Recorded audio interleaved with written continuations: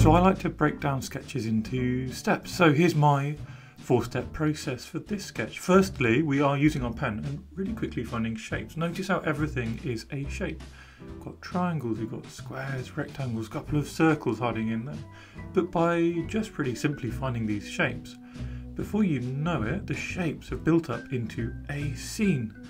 Step two is to apply some really loose colours. Notice how I'm not fussed about where the colours go. The colours wash over, they blend and merge. We apply some darker, deeper blues before adding on those lovely warm, bright colours. Things are still moving and blending, but they're having fun and I'm having fun at the same time.